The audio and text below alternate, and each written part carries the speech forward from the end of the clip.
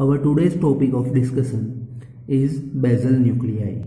So what are basal nuclei?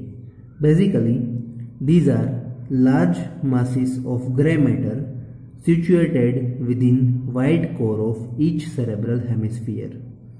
They form essential constituents of extrapyramidal system.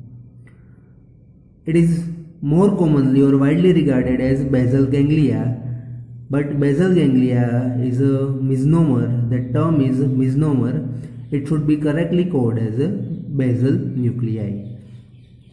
Anatomically the basal nuclei include corpus striatum claustrum and amygdaloid body.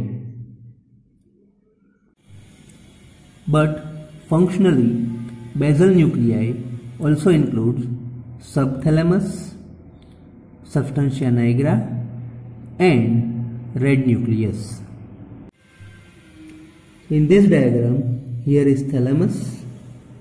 These are the parts of caudate nucleus. Here is the lentiform nucleus. This portion is internal capsule.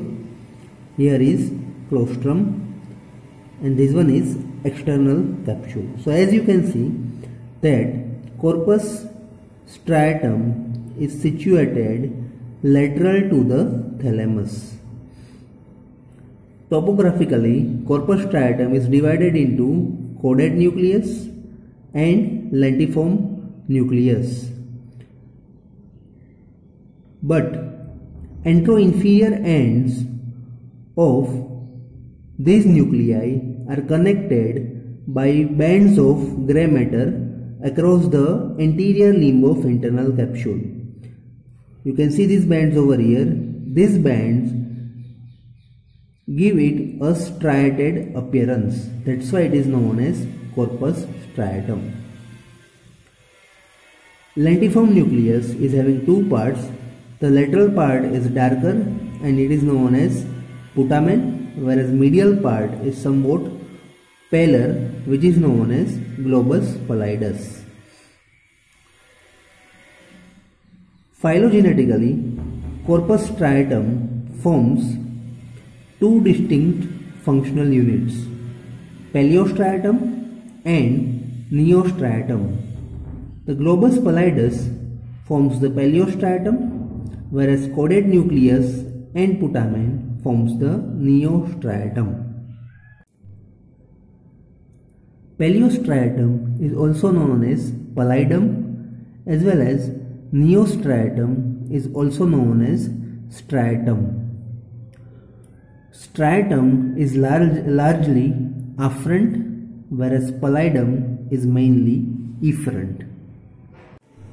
So in corpus striatum till now we have learned its location, its topographical divisions, why it is named as corpus striatum,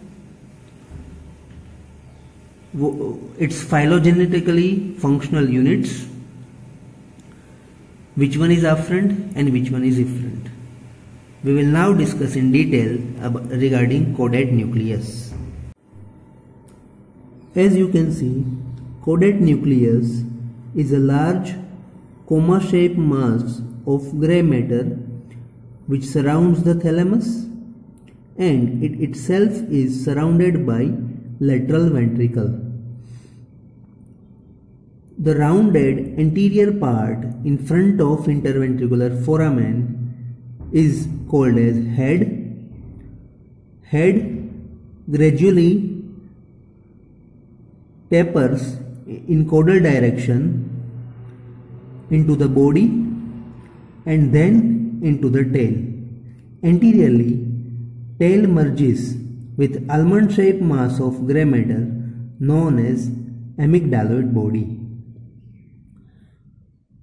As you can see, head is large and rounded. It forms the floor and lateral wall of this anterior horn of lateral ventricle. In the lateral ventricle, this one is anterior horn, this one is central part or body, this one is posterior horn and this one is inferior horn. As we have seen previously that the band of grey matter connects the head to the putamen across anterior limb of internal capsule. Body is long and narrow whereas tail is long and slender.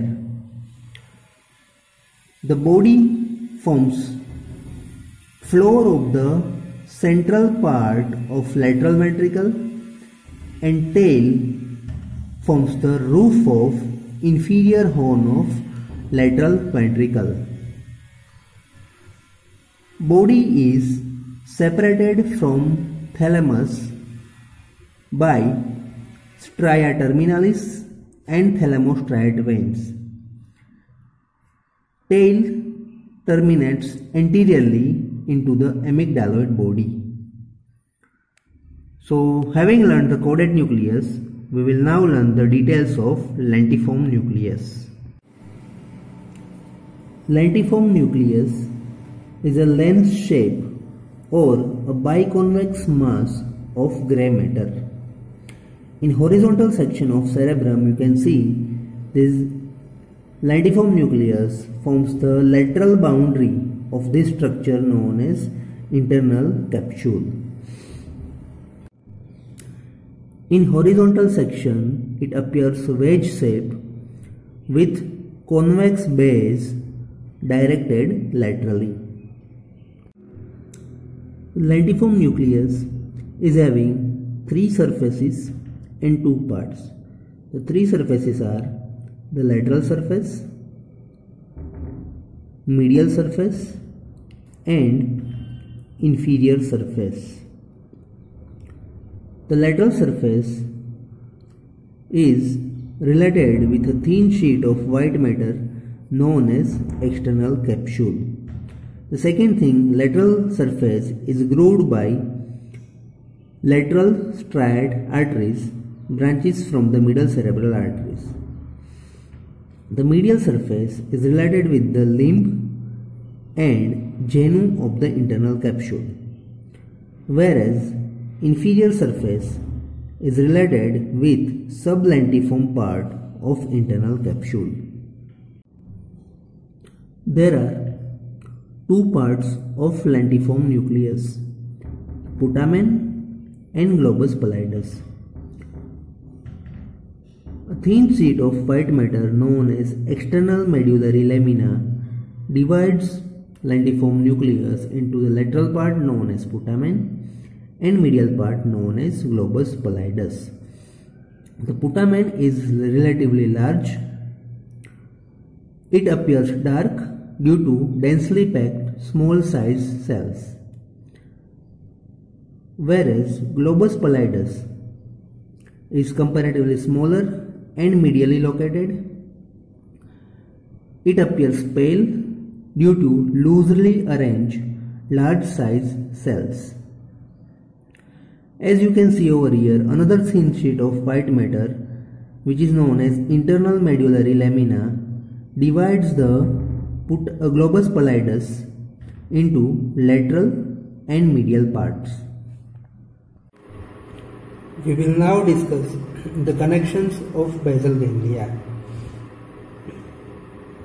The caudate nucleus and putamen receives the afferent whereas efferent goes from the globus pallidus.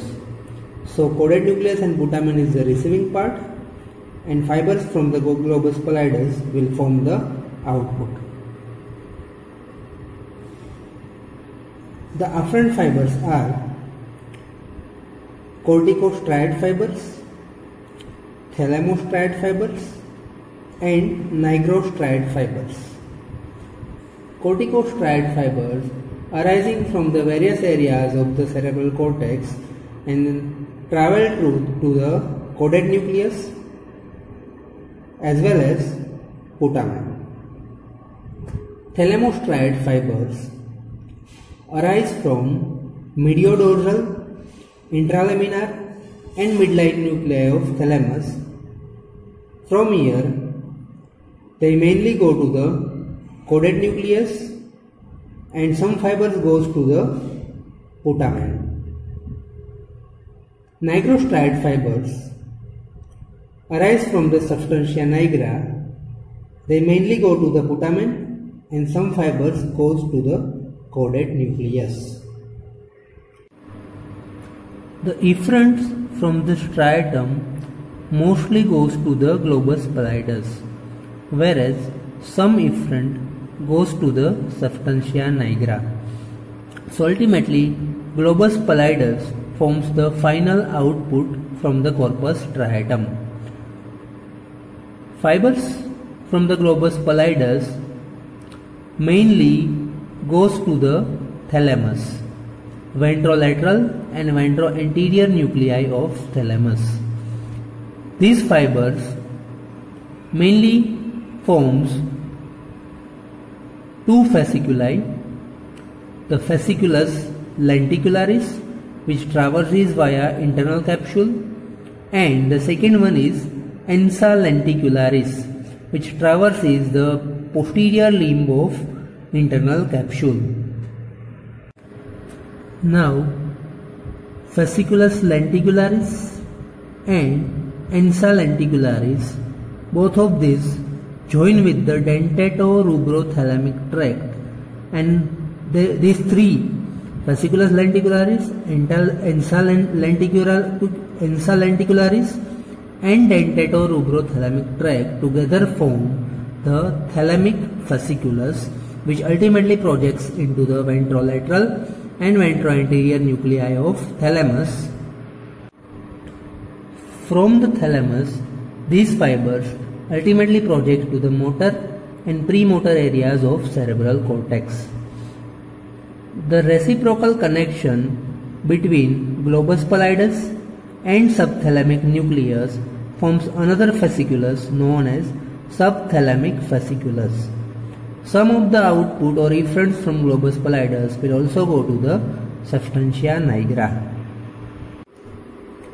So ultimately, how the basal nuclei functions. Information regarding thoughts of any activity goes from cerebrum, substantia nigra and thalamus to the corpus striatum. In the corpus striatum, there will be integration of this information and that integrated information will go to the globus pallidus. From the globus pallidus, that information will go mainly to the thalamus and substantia nigra. From thalamus, that information will go to the motor and premotor areas of cerebral cortex and ultimately these areas of cerebral cortex will control the movement via corticospinal and corticonuclear tracts. Corpus striatum mainly controls automatic associated movements like swinging of arms during walking as well as it will also help in smooth performance of skillful voluntary activities.